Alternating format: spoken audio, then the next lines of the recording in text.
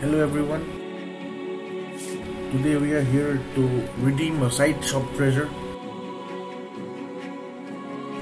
So let's go for a side shop. So I have like 200 coins, red ones. So let's open the set list treasures. Do you want to exchange here? It's awful. This is actually awful. I don't even play Lone Root. I don't know why I got this. Oh my. Is it tradable? Can I sell it? I think I can sell it. Yeah, it's tradable. That's fine. This yeah, this is the. Okay. Yeah, but I don't even play Lone Root, so that's it. That's gone. 200 gold. Gone.